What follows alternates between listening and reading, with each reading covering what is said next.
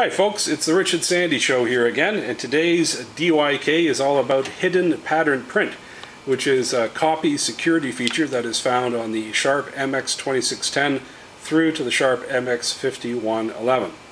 How does it work? Well, what you do is you, under the Copy tab, you go to the Others key, you hit Others, then you go to the Hidden Pattern Print key, we hit that particular key, we take our original, our highly confidential original, and we place it into the document feeder as we would any other original.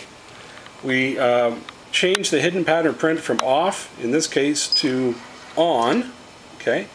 And now we want to choose how we want things to be printed onto it. So what, uh, what do we want the print color to be? The default is black. The exposure, standard or dark. We're going to choose uh, dark, okay?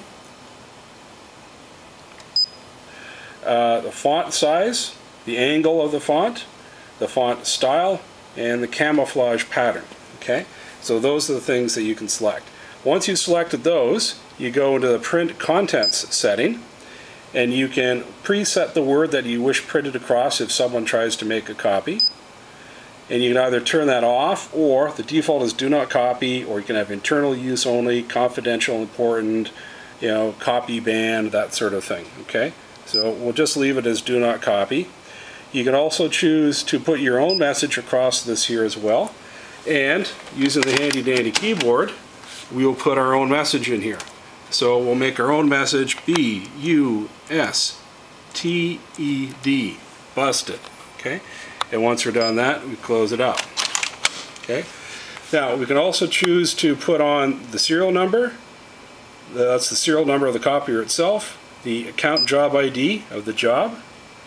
We'll also put on the control number. So if there's, say, 10 copies of this document being made, each copy, uh, each set will have its own individual control number. Okay, and also we'll pick the date and time as well. Okay, so now we're all done that. So now we'll hit go. We make our copy.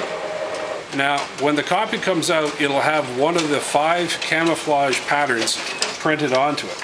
This is camouflage pattern number one. So you can still read what's on the copy, but there will be a camouflage pattern. This will tell the user that this is something that should not be copied. But let's say I'm a bad employee and I now go out to the photocopier, any photocopier, doesn't even have to be sharp, and I go and place this into the document feeder late at night because I'm going to make an uh, illegal copy of this. And now I go in here and I want to make a copy, so I go, okay, I'm going to make a copy. And look, you see what happens when I try to make a copy with hidden pattern print. Out comes a document that looks somewhat different than the one I put into the feeder. What you can see here, it's kind of hard to show up on this, but what it says is do not copy. It also says busted, it has the date. It also has the serial number of the copier, the job log number, and it'll have the reference number as to which of the which of the document sets this was.